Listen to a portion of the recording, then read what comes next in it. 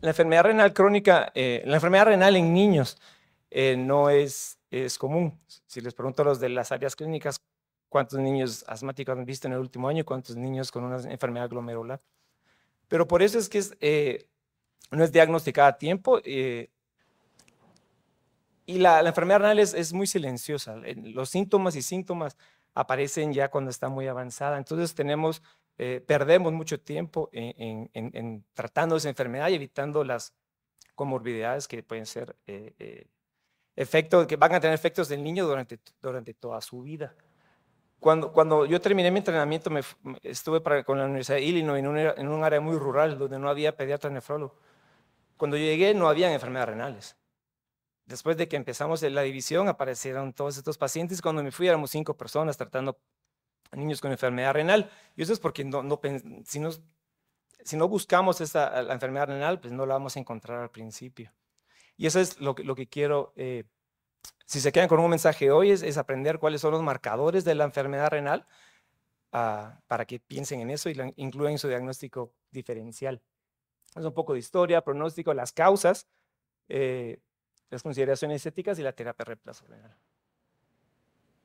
Entonces les voy a presentar el, primer caso. Es un niño de, de 15 años, no, un niño, un joven de, de, 15 años que se presenta con una crisis hipertensiva, edema pulmonar, con una carga sobre eh, hídrica, eh, con síntomas de, respiratorios, que fue tratado varias veces por esos síntomas respiratorios.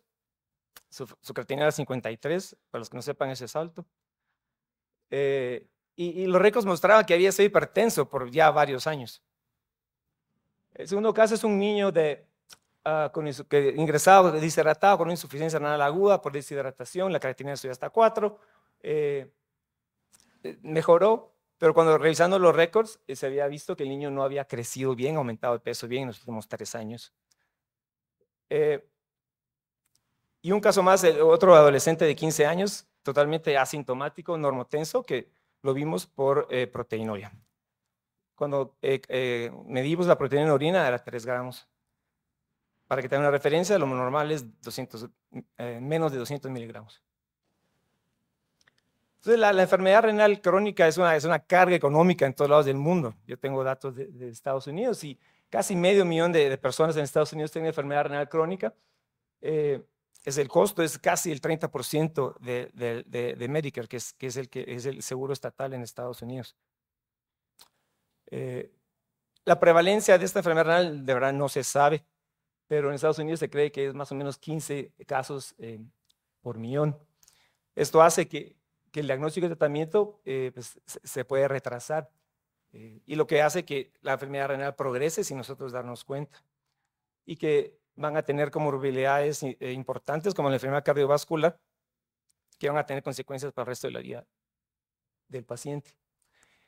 Un, niño de 10 años con, enfermedad renal crónica tiene una sobrevida del 80%, que suena bien, pero comparado con un niño sin enfermedad renal, este es 30 veces eh, más riesgo de, tener, eh, de, morir, especialmente por enfermedad cardiovascular. Y eh, como la enfermedad renal en niños es, no, e, e, es, pues no es tan común, la transición de los pacientes y las causas de la enfermedad renal en los niños es diferente la transición a un, al, al, cuidado de un adulto, de un, de un, de un, adulto, todos somos adultos, de, un nefrólogo que mira adultos, es, es, es, complicado. Pero ¿cuál es la definición de la enfermedad renal crónica? La enfermedad renal crónica es, uno, si uno eh, tiene eh, la, la, función renal normal, que es midiendo la tasa glomerular de filtración en menos, del, en menos de 60. Eso sí dura más de tres meses. Pero otra cosa importante es que cualquier cambio anatómico, aunque tenga la función renal normal, eso es enfermedad renal crónica. Por ejemplo, si alguien nace con un riñón, hay gente que no sabe que tiene riñón, solo un riñón, y vive casi el resto de su vida hasta que se dan cuenta. Eso es en tener enfermedad renal crónica. Están, tienen los riesgos de las mismas comorbilidades de, de, de otra persona que tiene también enfermedad renal. Esto es, como lo, solo para que tengan una idea, cómo lo dividimos, medimos la filtración glomerular y arriba de 90 es normal, estadio 2 de 60 a 89, 3, 4, 5, 5 es cuando ya están en diálisis. Se los muestro porque en, en estadio 1, 2 y 3 temprano no hay ni, casi ningún síntoma ni, signo de una enfermedad renal. Así que eh, cuando ya los vemos con, síntomas y signos de enfermedad renal, esto ya está bastante avanzado. Entonces, ¿cuáles son los, desafíos que tenemos para tratar a estos niños? Eh, no es diagnosticada a tiempo normalmente eh, y tampoco la, tratamos. Pero ¿cuáles son los factores de riesgo que, que tienen los niños de tener enfermedad renal? La disminución de la masa renal, como por ejemplo todos los niños que son, tienen bajo peso al nacer, niños prematuros, pacientes que, no tienen, que tienen menos de dos riñones, eh, pacientes que han estado expuestos a, medicamentos que son tóxicos para el riñón eh, y si hay historia familiar de enfermedad renal. Entonces, todos estos pacientes, estos son factores de eso que tenemos que identificar cuando estamos evaluando a un paciente. Solo para que tengan una idea, este es un estudio en adultos con enfermedad renal crónica y les preguntaron si, eh, bueno, tenían proteinuria, eso es enfermedad renal crónica, y les preguntaron, eh, ustedes saben que su riñón pues, está progresando y se va a enfermar, en los en eh, estadios temprano, esto no es, bueno, este, en los estadios temprano, pues eh, casi nadie sabía que sus riñones eventualmente iban a fallar, pero incluso en, en, en estadios tardíos de la enfermedad renal crónica, menos de la mitad de los pacientes sabían que sus riñones estaban, estaban por, por, fallar. Y eso es algo que, pues, como, como, nosotros médicos tenemos que instruir y educar al, paciente. Entonces se han creado eh, políticas en, en, las comunidades de cómo de, de, de, hacer conciencia a, los, a, los, médicos generales, especialmente a los generalistas, de que, de que existe la enfermedad renal, eh, a los pacientes de, que, que pregunten eh, sobre la enfermedad renal. Así hay una comunicación entre pacientes y médicos eh, y, pueden hacer pues, el, escrutinaje para, para ver si, hay enfermedad renal o no, especialmente en esos pacientes que tienen los factores de riesgo. Entonces, casi ningún paciente, que, uno de cada ocho pacientes que tiene enfermedad renal, pues va a llegar a necesitar diálisis o trasplante. Esto no es porque los tratamos muy bien, eso es porque mueren antes de que necesiten trasplante eh, o diálisis, especialmente la causa cardiovascular, que es la causa más común de mortalidad en los pacientes con enfermedad renal. Entonces, cuando manejamos un paciente con enfermedad renal, tenemos que considerar eh, cómo disminuir esas, las comorbilidades de, de esta enfermedad, especialmente de la enfermedad cardiovascular. Entonces, hay factores de riesgo que no los podemos cambiar como el bajo peso al nacer, un prematuro, eh, en, pacientes de origen eh, africano o en pacientes hispanos, usualmente la enfermedad renal es más eh, eh, severa. y hay otros factores genéticos como el gen de, del inhibidor ECA, pero no vamos a, meternos en eso. Y hay muchos estudios, este es solo un ejemplo, que han asociado el bajo peso al nacer y la incidencia de hipertensión en adultos. Entonces, entre entre más bajo sea el peso al nacer, la incidencia de hipertensión es más alta. Por eso cuando vemos un paciente con enfermedad renal, siempre, aunque tenga intensidad normotenso y función renal normal, siempre les decimos que eventualmente de adultos no los vamos a ver nosotros, pero que tienen que estar pendientes de, que, de la hipertensión y de la enfermedad cardiovascular. Pero hay, hay cosas que sí podemos manipular para, para evitar que estos eh, pacientes progresen muy rápido eh, o para evitar que, que, que, tengan eh, comorbilidades. Por ejemplo, la hipertensión, podemos tratarla, diagnosticarla, la proteinuria, obesidad, anemia y la enfermedad mineral ósea, que es el hiperparatiroidismo secundario de la enfermedad renal. Este es solo un ejemplo de muchos estudios viendo eso, que pacientes con enfermedad renal, si los, tratamos, si tratamos la hipertensión de forma agresiva, la sobrevida del riñón aumenta considerablemente. El mismo caso de la proteinuria, este es solo un ejemplo en adultos con nefropatía por IgA, eh, tratar la, proteinuria, incluso aunque no eh, logremos eh, eliminar la proteinuria, solo con bajar uno o dos gramos, la sobrevida del riñón es mucho mejor. En la enfermedad ósea, el, hiperparatiroidismo secundario, se sabe que, la, acumulación de fósforo y calcio eh, especialmente en el intersticio. Hay depósito de calcio y fósforo en el intersticio que eso hace que se acelere la, la, función renal, que disminuye la función renal. Y, Este es el ejemplo que yo les decía, que al principio, si esta es la filtración de, de, la tasa de filtración glomerular, la, la, PTH y la inhibición de la vitamina 1,25 se empieza a ver en, en, en estadios tardíos ya de, la enfermedad renal. La causa, como les dije, la causa principal de muerte de, estos pacientes es, cardiovascular. Este es, este es un, un, estudio que hicieron eh, de pacientes que empezaron diálisis en, la pediátrica y luego los evaluaron ya este paciente 27 años. Y si ustedes ven aquí las coronarias, la aorta, ya hay calcificaciones. Y eso es lo que tenemos que ser bastante agresivos cuando tratamos a nuestros pacientes con, enfermedad renal. Eh, ser, controlar el, el, hipertiroidismo secundario, ser agresivos para tratarlo, para evitar esto lo, eh, lo más que se pueda. La anemia eh, también eh, se sabe que sí, hay que tratar la anemia porque la anemia y el estrés oxidativo contribuyen a la fibrosis renal. Eh, eso hace que, que, la, la, función renal se deteriore más rápido en estos, en, en, estos pacientes. Ustedes saben que la, la causa principal de, de, de, fallo renal en adultos es hipertensión y, diabetes. En niños es diferente. Eh, en niños son eh, causas eh, anatómicas, anomalías congénitas de, la anatomía geniturinal. Por ejemplo, entonces todo lo que son displasias, hipodisplasias, uropatía obstructiva o, uropatía por reflujo son las causas principales de, daño de fallo renal en niños. Y la segunda es la esclerosis, la glomerulosclerosis segmentaria, es la, eh, que, es, la segunda causa de la enfermedad, la enfermedad glomerular más común eh, que causa fallo renal en niños. Entonces la enfermedad renal afecta todo, ¿no? Hay, hay consecuencias hematológicas, nutricionales, eh, óseas, cardiovasculares, neurológicas, neurocognitivas. entonces, cuando hacemos el Eh, eh, la evaluación de estos pacientes, el tratamiento de estos pacientes, tomamos todo eso en cuenta. Por eso nuestro equipo es, no solo somos nosotros, pero hay psicólogos, farmacéuticos, trabajadores sociales, eh, nutricionistas. Si ustedes saben con un adulto que está en diálisis, la textura de la, de, la, comida cambia, los sabores de la, la comida cambia. acumulan hormonas que, que, se dicen hormonas anoréxicas, ¿no? que les quita el apetito. Entonces, eh, para los adultos ya creció, pero los niños es, importante el crecimiento y desarrollo, el, eh, darle las, calorías que necesitan para crecer, para que se desarrolle el cerebro. Entonces, casi todos nuestros, los niños, casi todos, infantes o, incluso más grandes, van a tener un tubo de gastrostomía, donde, nosotros, donde vamos a proveer esa nutrición que necesitan para crecer, pero también darle las medicinas.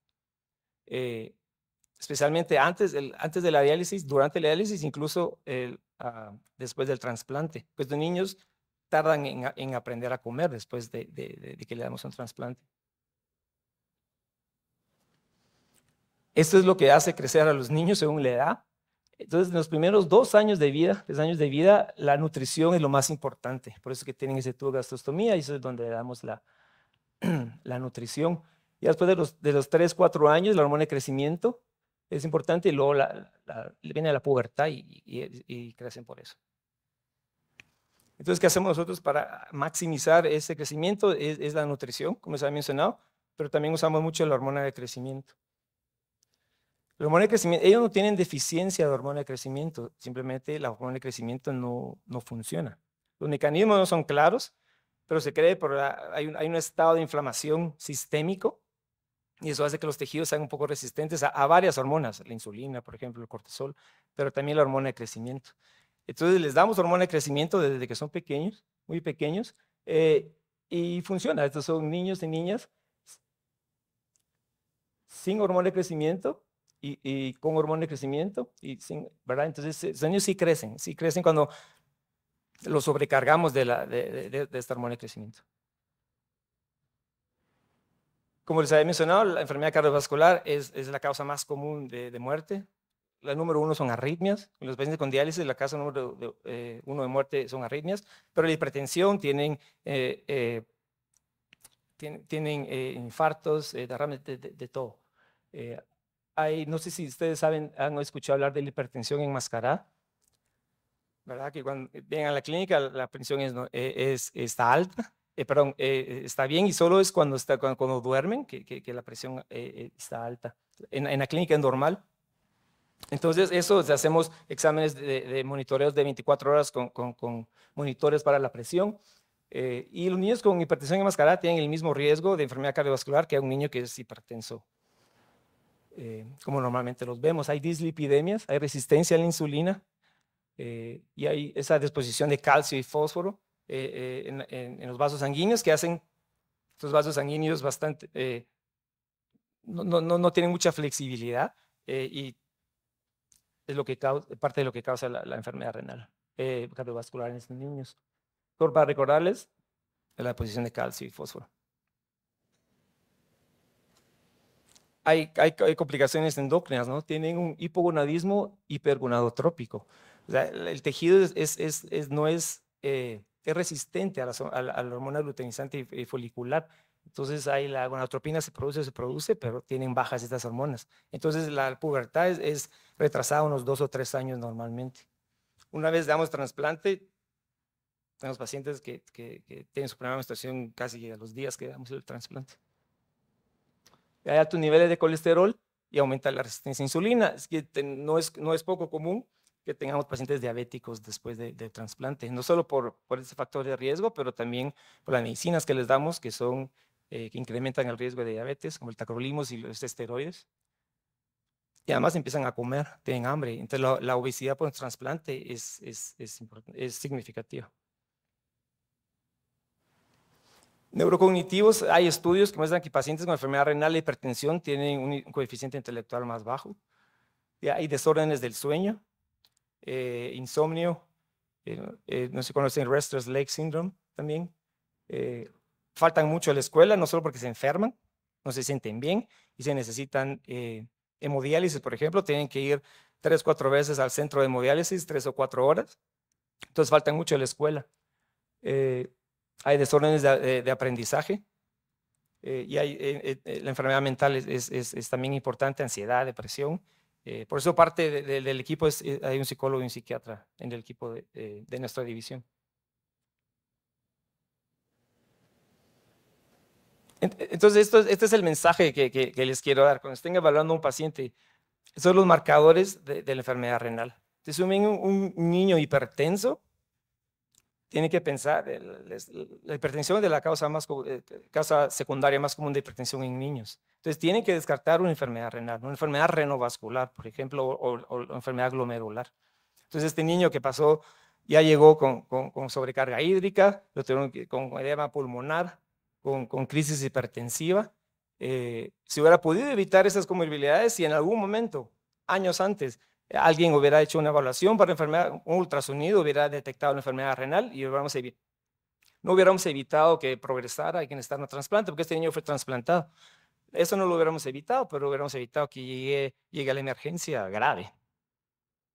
En el segundo caso, este niño que reingresó por una, por, una insuficiencia renal aguda, le subió la creatinina, que eso me puede pasar a todos, pero porque él tenía una displasia de los riñones eh, entonces la reserva eh, eh, glomerular de, esa persona era, menor, entonces cualquier insulto pues, se, va, se va, la creatinina va a subir más que alguien que tenga 100% de la masa glomerular. entonces años antes vimos que este niño no estaba creciendo, la, curva de crecimiento no era normal.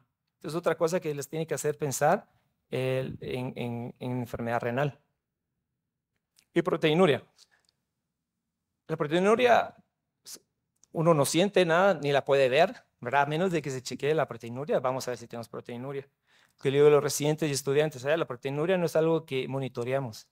Si hay eh, proteinuria, tenemos que cuantificarla, medirla y luego ver cuál es la razón de, la proteína. No, no tenemos que tener proteína en la orina. Así que este, este último caso, si se acuerdan, llegó paciente normotenso con crecimiento normal, con función eh, renal normal, eh, pero tenía 3 gramos de, proteína, de proteína. O sea, él tenía enfermedad renal crónica en, estadio eh, eh, muy temprano, por eso él estaba normal. Y, nadie había pensado por, por, mucho tiempo en enfermedad renal. Eso es como, eso pasa en todos lados. Eh, cuando, cuando, cuando les digo que cuando yo estaba en la, Universidad de Illinois, que, que era un área muy rural y no había pediatra nefrólogo, uno de, mis objetivos fue hacer conciencia a, los eh, pediatras generales del área y del hospital, chequear por esto, ¿verdad? Si miran esto, por favor, hay que pensar en enfermedad renal. Y así empezamos, así se empieza a captar estos niños en un estadio temprano donde se puede evitar que lleguen graves a la emergencia.